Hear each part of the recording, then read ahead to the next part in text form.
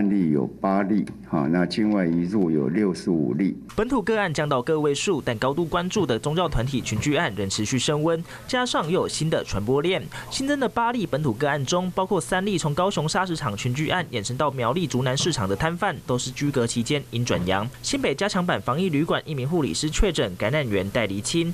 另外，宗教团体群聚案再添四例，除了三例是参与聚会人员传给家人，在居隔期间因转阳，另外一例则是参与聚会的板桥某国中生按一九九五一，他的同班同学也染疫了。外界担忧宗教团体群聚是否已经向外扩散？监控是这个的聚会的影响，那现在就是说是一个哈有限度的外扩。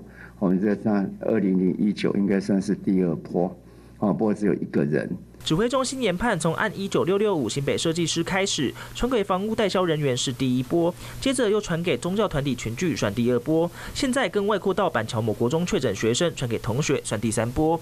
陈时中强调，宗教团体群聚案外扩还得持续观察，但日前确诊的淘机航警感染源找到了，来自一名印尼的境外一路学生按一九五七一基因电序完全一致，但接触史还要厘清。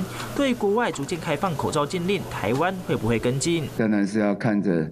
疫情的一个情况，哈，那来做不同的一个限制。我们要完完全全都不用戴口罩，啊，这恐怕时间会拉得比较长。目前国内仍有九条传播链，感染源有待厘清。指挥中心也再度呼吁民众尽快施打疫苗，降低染疫以及重症风险。